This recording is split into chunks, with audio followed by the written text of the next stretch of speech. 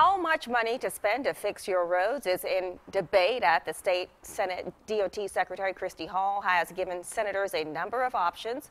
One includes spending $65 million only to repave interstates.